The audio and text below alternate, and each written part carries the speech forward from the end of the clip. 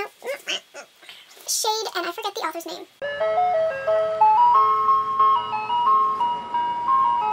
Hey guys, it's Jay and today I'm here with another Top 5 Wednesday video.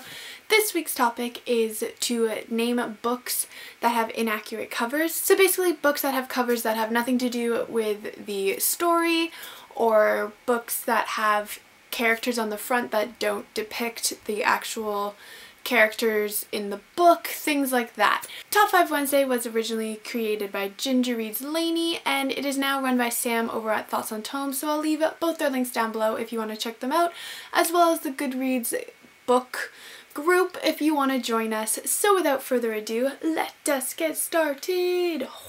The first book I'm going to show you guys is Dead Rules by Randy Russell and this book follows a girl and she ends up dying in an accident and Basically, she tries to kill her boyfriend in order for them to be together. How does this cover have anything to do with that? They could have done so much more with it. Like, it's literally just a girl's face. Like, yeah, she looks kind of creepy and she looks like she's dead, but you could have done so much more with this cover. It could have been so cool.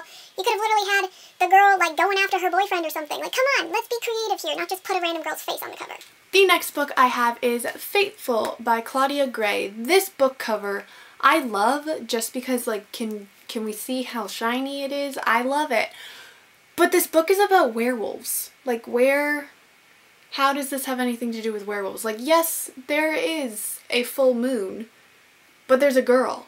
Like the werewolf isn't even the girl. There's just this random girl on the cover. Like why? Like give me a werewolf, man. I just want a werewolf. The next book is Perfect Chemistry by Simone Elkeles.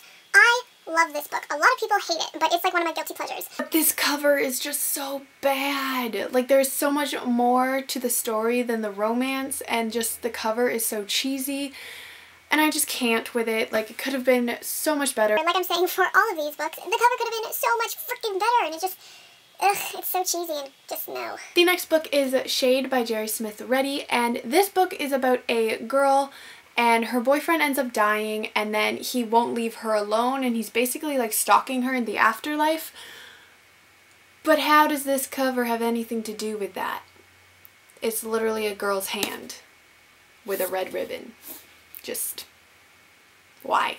I mean, it says love ties them together, death can't tear them apart, so I guess the ribbon is supposed to be his soul or something. I mean, if we're gonna get deep with this. But you could have done so much better.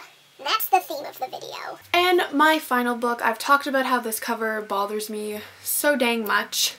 And it is Dead to You by Lisa McMann. This book follows a nine-year-old boy who got kidnapped from his front lawn and now 16 years later he's returned to his family and they basically have to adjust to him returning. Book doesn't even take place in the winter, so why is there like snowflakes on the eyelashes and like wh why is there a face? I don't, I just don't get it.